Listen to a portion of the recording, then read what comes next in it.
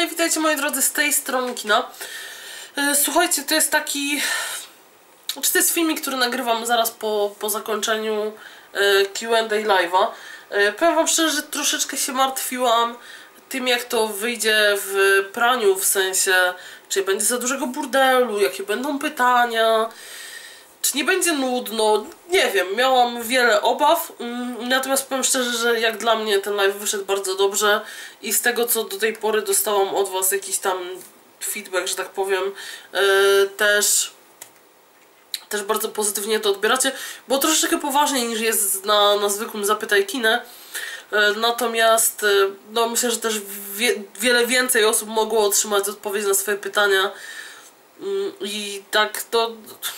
No nie wiem, ja na razie od Was dostaję bardzo pozytywne, bardzo pozytywne wiadomości o, odnośnie tego QA. Myślę, że co jakiś czas e, będzie się taki QA pojawiał.